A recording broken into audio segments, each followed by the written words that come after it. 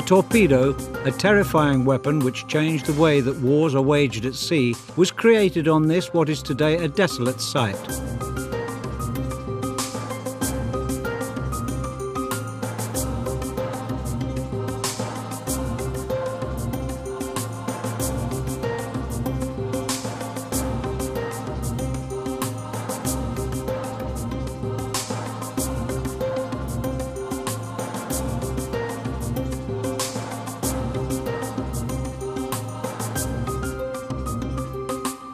Beginnings of our story about the world's first torpedo take us back to mid 19th century Rijeka.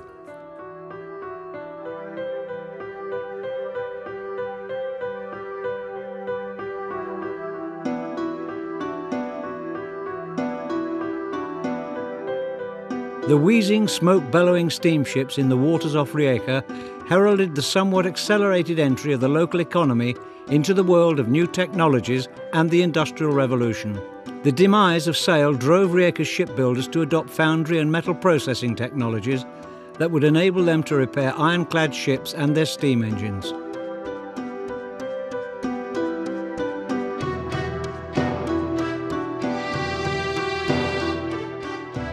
And so a group of ambitious patricians and entrepreneurs from Rijeka got together in 1853 and established a foundry which had a marked influence not only on the development of this city, but also on the way wars are waged at sea.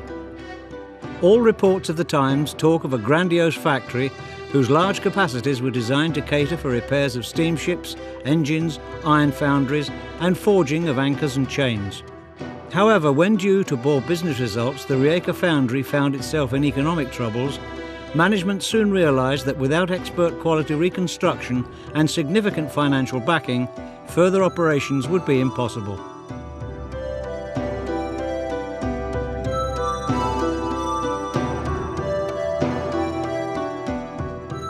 The solution to the problem was found in an historical competitor in nearby Trieste, the Stabilimento Tecnico Triestino, where Robert Whitehead, a young Englishman with a brilliant career, worked as a technical director.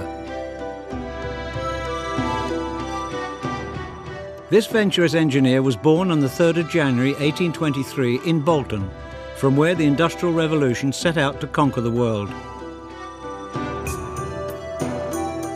After a brief period in Marseille and Milan, the ambitious Whitehead arrived in Trieste, where he soon turned the local Strudthoff foundry into the Trieste Technical Institute, which became the biggest supplier of boilers and ship's engines for the Austrian Navy. and it was here that its commander in chief, Archduke Maximilian, decided to build and modernise his fleet. An offer received from Rijeka's businessmen attracted the interest of Robert Whitehead, and in 1856 he arrived with his family. As was the custom of the times, he built his family home in the immediate vicinity of the factory, where he was to live almost to the end of his life.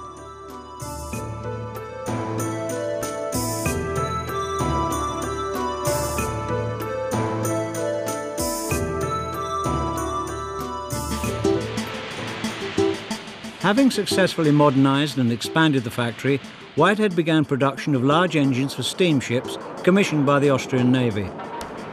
It was not long before the foundry had a 400 strong labour force able to service the most advanced vessels. In the summer of 1861, Robert Whitehead changed the name of the Rijeka foundry to the Rijeka Technical Institute, the aim being to compete with Trieste. Within a short space of time, the Institute delivered several steam engines of 500 and 800 horsepower, very powerful for the times. They were fitted into the largest and most modern Austrian vessels, which were soon to have the opportunity to prove themselves in action.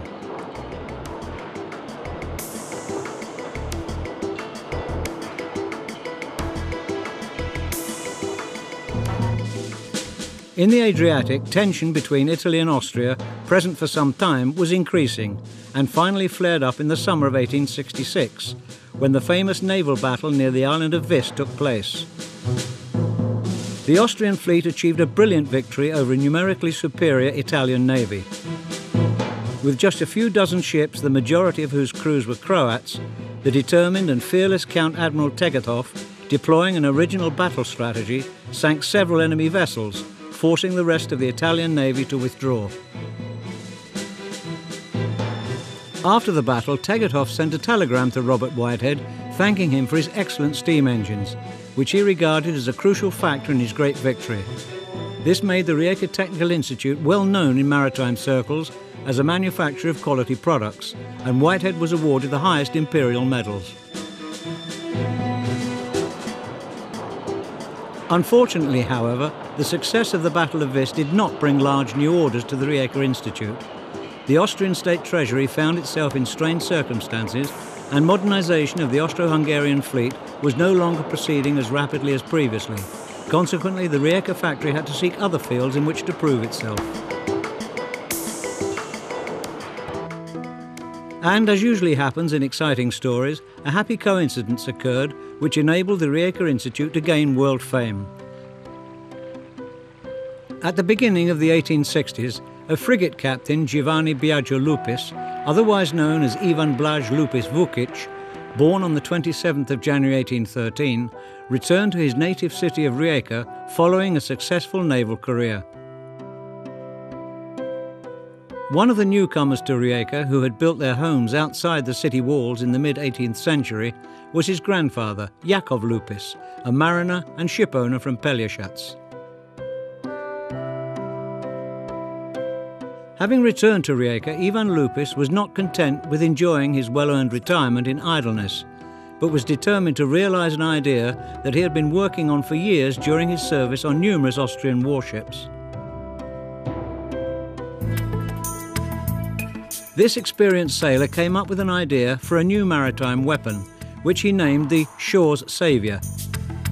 Basically, his project was an elaboration of earlier naval weapons, ships known as branderas, which would be set alight and, carried by wind and sea currents, reach enemy vessels, collide with them, set them alight, and of course sink them. In Rijeka, Lupis built a one metre long model, but in its final form, the Shore's Saviour would be six metres long. He resolved the problem of propulsion of the model by a wound spring that drove a propeller. The device was steered by long yoke lines either from another ship or from the shore and by two rudders. The small boat carried an explosive charge fitted with several detonators, and having struck the enemy vessel, it would explode and sink it. Lupis kept offering his idea for some time, both personally and by letter, to the Ministry of War in Vienna, seeking financial backing for its realization. The Commission studying the proposal regarded the idea as a good one, but since propulsion and remote control problems had not been resolved satisfactorily, they rejected it due to its technical unfeasibility. Lacking the finances to resolve the problem on his own, Lupis turned for assistance to a naval acquaintance, Giovanni de Ciotta, who had just begun building a political career for himself. In fact, several years later, he became mayor of the city on the Rječina River during its golden period. A shrewd operator, Ciotta soon realised that the idea should be perfected in the Rijeka Technical Institute by Robert Whitehead, whom he saw as the right person to resolve any technical problems. Contact between Lupis and Whitehead was promptly established. On 14th of August 1864, a written contract was signed between the three men on cooperation in development and commercialisation of the invention.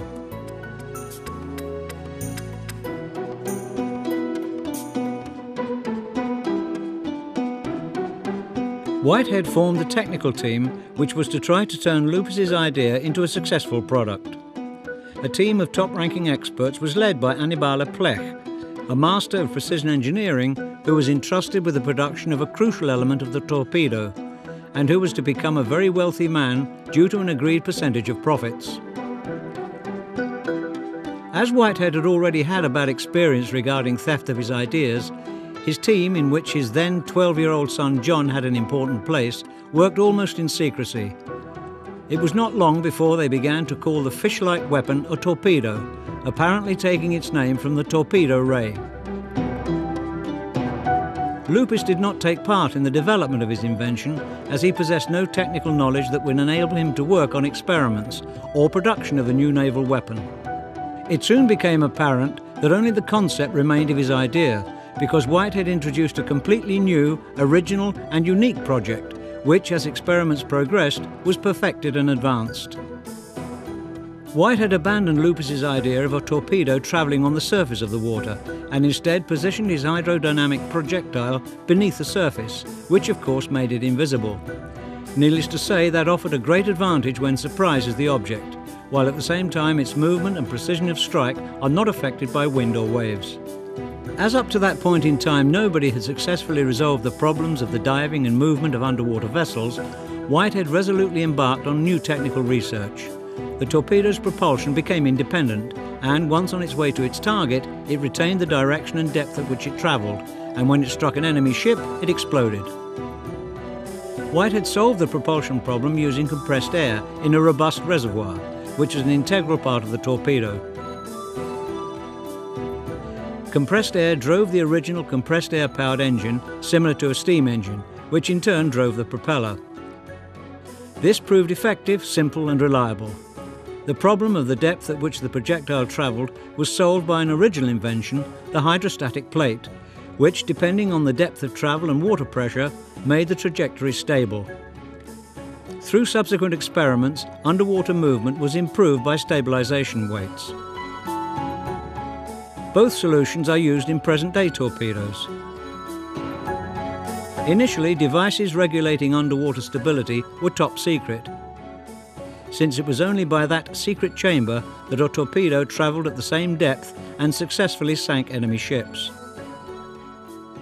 The forward section was filled with explosive, initially gunpowder, then with gun cotton, and finally with dynamite.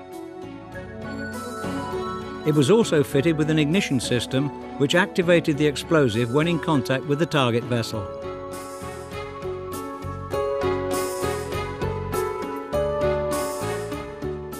After two years' work, Whitehead's team produced the first torpedoes which could be demonstrated to the Austrian Navy Commission.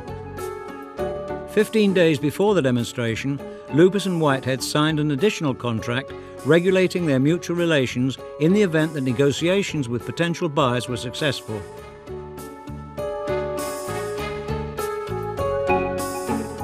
The Austrian Naval Commission, headed by Vice Admiral Fouts, arrived in Rijeka to view the new invention. The tests, started on the 20th of December 1866, showed that the torpedo travelled and dived well, but that its steering and direction required further work.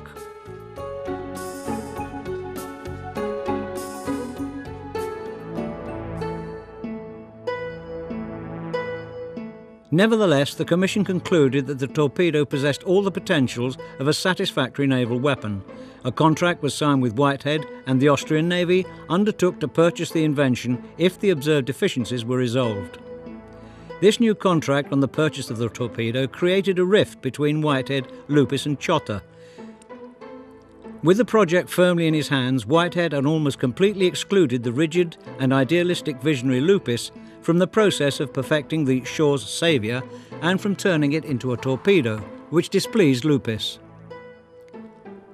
But regardless of their troubled relationship, it was agreed that tests with an improved torpedo would continue. Also, the Navy requested Whitehead to resolve the problem of launching the torpedo from warships, and to that end they provided him with a gunboat, the Gemser, for which he was to devise a new and original launch mechanism.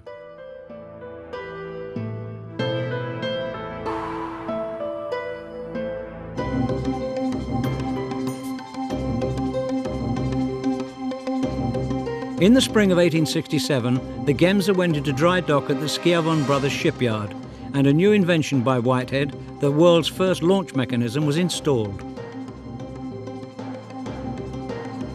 By autumn of the same year, modifications were complete and a launch tube installed.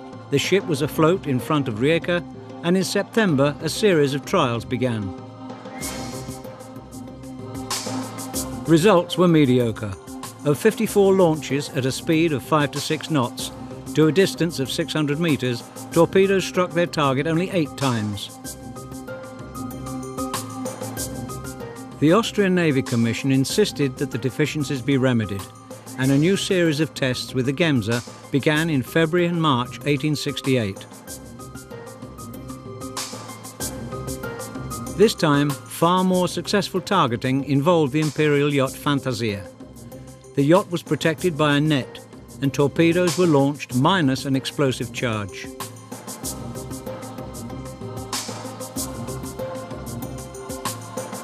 A few years later, a launch tube was fitted to the gunboat Seehund, which became the first school ship for training torpedo crews. The gunboat commander, Lieutenant George Hoyos, met Whitehead's daughter Alice in Rijeka and subsequently married her. This wealthy member of the nobility, close to the imperial family, soon became a business partner and financier of new development projects. Following successful tests, the Commission decided to purchase the invention. As the purchase did not include exclusive rights, only the right to use, Whitehead had the option of offering the new invention to other world maritime powers.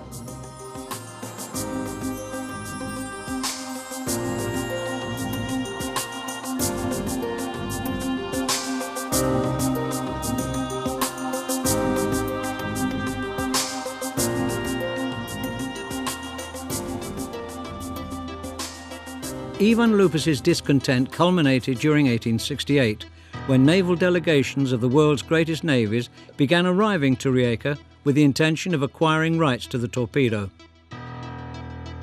Lupis regarded himself as the sole holder of such rights, and his demands effectively blocked any sales. Frustrated, Robert Whitehead threatened to cease cooperation on construction and production of new torpedoes. Since Ivan Lupis had neither the financial means nor the expert or technical knowledge, he ultimately accepted Whitehead's counterproposal, whereby the two of them would be joint holders of the right to up-to-date construction and sale of the torpedo, while further development and sales of new torpedoes became the exclusive right of Robert Whitehead. The Austrian War Ministry purchased the right to use the torpedo for the sum of 200,000 florins. Division of that money was agreed by a special contract concluded between Whitehead, Lupis and Ciotta in August 1868, and it also included Annibale Plech, the mechanic who assisted Whitehead in the torpedo's construction. The significant sum of 90,000 florins received by Ivan Lupis received could not resolve his discontent with the fact that he could not realise his idea, or that the major share of the credit for the development of the torpedo went to Whitehead. And although Emperor Franz Joseph I awarded him the Medal of the Order of the Iron Crown and on the 1st of August 1869 bestowed on him the rank of a nobleman, Ritter Lupis von Rammer, a deeply disappointed Lupis retired with his wife Elisa Tezzotti to Milan to settle in this house in the elite borough of Monte Napoleone.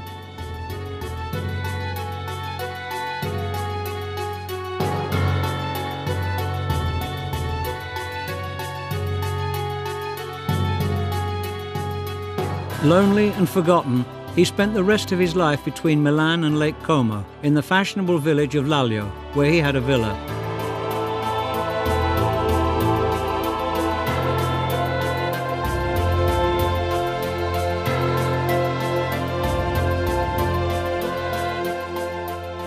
He died in Milan on the 11th of January 1875 and was buried at Cimitero Monumentale, Milan's Grand Cemetery.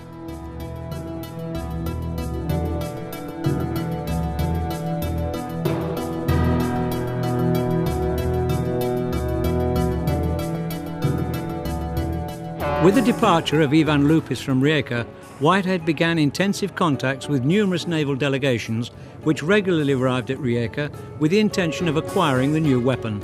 Sales of Rijeka's torpedoes rapidly increased, for they were becoming a crucial strategic naval weapon which every naval power coveted, and so Rijeka became the world centre for torpedo production. Lucrative business and numerous contacts brought Whitehead's family into Europe's high society and into English diplomacy. In 1892 in Vienna, his granddaughter Margarita Hoyos married Count Herbert von Bismarck, son of the German Chancellor Otto von Bismarck. Agatha, his second granddaughter, daughter of his son John, married the Austrian war hero Baron Georg von Trapp. Her sudden death completely altered the life of this family with seven children, whose fate was to be the topic of the famous film The Sound of Music.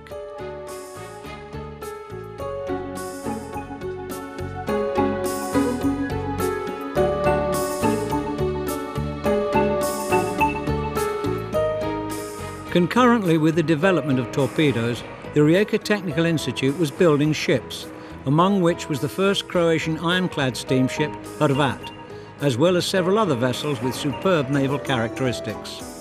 However, orders were insufficient to ensure its profitability. The Rijeka Technical Institute incurred insurmountable losses, and in 1874 its liquidation was proposed. Whitehead wisely took advantage of the Rijeka Technical Institute statute which did not foresee the production of torpedoes, and together with his son-in-law Count Georg Hoyos, formed the new private company which they named the Robert Whitehead Torpedo Factory.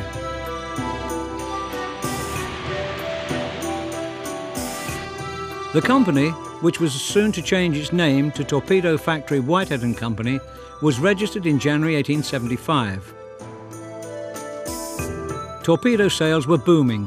The factory began to make a profit and at the beginning of 1877, Robert Whitehead was able to compensate the founders and shareholders of the Rijeka Technical Institute for the losses they had suffered through liquidation of the company.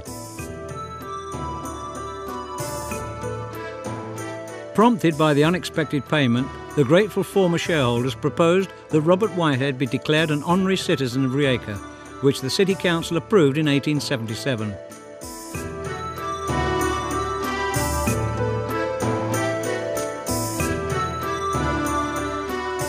Robert Whitehead invested his high earnings into construction of palaces and dwellings all over Rijeka, as did Annibale Plech, and the city was soon transformed into a pleasant, cosmopolitan place in which to live.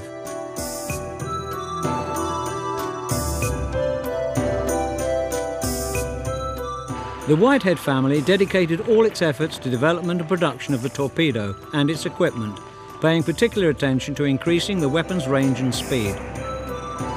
Increasing in diameter, length and weight, the torpedo gradually became a very sophisticated technical product with a range of precision systems ensuring its efficiency.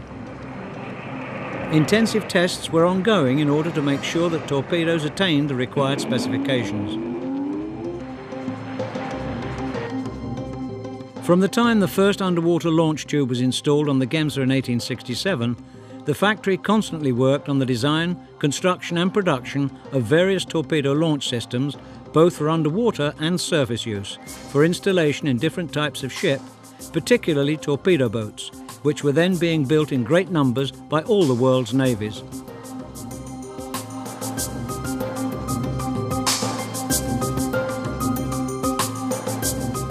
Because the torpedo was powered by compressed air, Problems related to high air pressure in the projectiles posed a special technical challenge, which the Rijeka factory resolved brilliantly. That is why air compressors were being designed, constructed and produced in Rijeka. As a result, at the end of the 19th century in Munich, Professor Linde used liquefied air for the first time, a scientific and technological marvel of the times.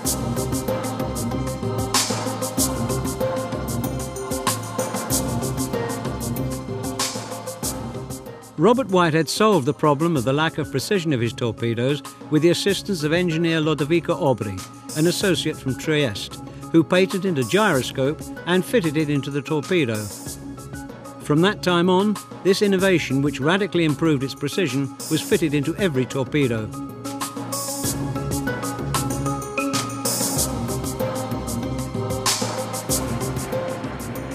Towards the end of the 19th century, world navies began to deploy submarines, and it was soon realised that their main armament would be the torpedo.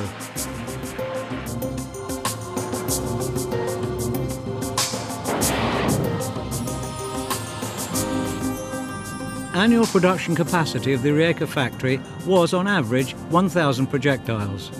In times of world crises and looming wars, the factory was unable to meet market demands, and so Whitehead sold licenses for production of his torpedoes. Also, the option of establishing branches of the Rijeka factory where, based on the Rijeka projects, torpedoes would be produced for that particular country or for export to other countries. The first branch was founded in 1891 in a new modern factory in Weymouth in the south of England, followed by branches in the United States of America, Russia, France, Italy and elsewhere. After 20 years at the head of his company, advancing age and health problems prompted Robert Whitehead to retire to his estate in England. Business in Rijeka was taken over by his son and most trusted confidant, John, who was to die suddenly in 1902. Due to stress caused by this death, Robert Whitehead suffered a brain stroke which paralysed him. The tragic sequence of events continued two years later, when his son-in-law George Hoyos, also died. The man who hated war but who created one of the most powerful weapons which he regarded as a masterpiece of scientific and technical skill, died in 1905 aged 83.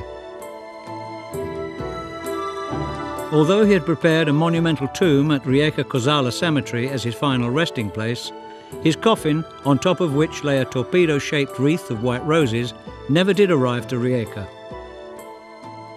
A combination of business circumstances, powerful competition and dramatic political events in Rijeka all contributed to key production of the Whitehead torpedoes being moved to economically more rewarding parts of the world.